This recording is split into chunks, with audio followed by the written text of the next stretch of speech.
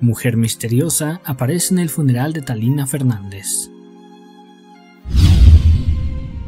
Sabrán que hace unos días sucedió el funeral de Talina Fernández, mismo que fue realizado en su casa. No obstante, tras ello, ha surgido un nuevo rumor, y es que se comenzó a decir que ella misma apareció como fantasma o espíritu en el lugar, y de acuerdo a las declaraciones de quienes se presentaron en el lugar, notaron que en la azotea había una mujer quien vestía de negro y quien estaba fumando, por lo que inmediatamente le preguntaron al hijo de Talina, a Coco Levi, quién había subido al techo, lo que a él le sorprendió bastante porque es muy difícil que alguien pueda subir hasta allá, pero lo que más le llamaba la atención es que uno de los más grandes placeres de Talina, sin dudas, era fumar por lo que de alguna manera piensa que su madre fue a aquel lugar para despedirse de sus seres queridos.